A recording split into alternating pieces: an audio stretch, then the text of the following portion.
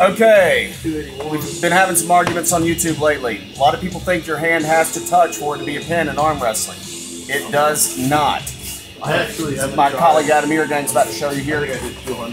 This is a pin right here. Arm cannot touch the pad. My elbow's still on the pad. This is a pin. That's what the monster. Now, what happened in the Scott Mendelson versus Jonathan Hoffman match is when Jonathan hit, he flashed him over, like the wrist go just a little bit at him. His hand went to here. Knuckles are below the pin pad. It was a flash, but that happened very quickly. But that is a pin. He does not have to touch. And then it was back up. You just need to break the plane. That Just goes need to break the top plane of these pad. So let me show you another one, another parallel pin. So this is a parallel pin right here. Yep, that is that is a pin. Go ahead and show. Yeah, go ahead and do it again, Adam. Pin right there. Mm-hmm. Yep, that is most definitely a pin. You can almost pin straight back.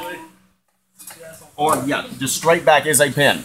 As long as it's o- off center. Yeah, it can't Gotta be be center one of the side table. of center. It can't be center of the table. This is no good looking scene. Like, you see, it's like something.